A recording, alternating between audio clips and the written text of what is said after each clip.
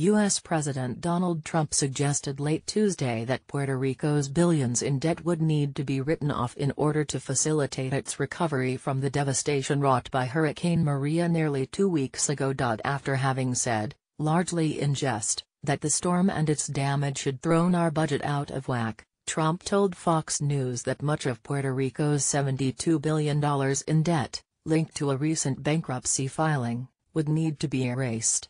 A White House official also told Reuters late Tuesday that a $29 billion aid request will be sent to Congress in order to provide a cash injection to the National Flood Insurance Program, and immediate support to Americans impacted by this year's historic hurricane season. We are going to work something out. We have to look at their whole debt structure. They owe a lot of money to your friends on Wall Street, and we're going to have to wipe that out, Trump said. You're going to say goodbye to that, I don't know if it's Goldman Sachs but whoever it is, you can wave goodbye to that. Small investment, big potential.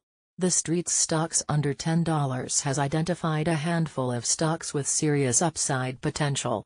See them free for 14 days. Yields on Puerto Rico's benchmark 8% bond due in 2035 rose nearly 1% to 18.48% following the president's remarks and now trade at a record low of 44 cents on the dollar, according to data compiled by Bloomberg. Earlier Tuesday, Moody's Investors Service put the cost of both Maria's damage and its hit to the U.S. territory's economy at between $45 billion and $95 billion, a figure that would be more than 130% of its gross national product at the higher end of the range.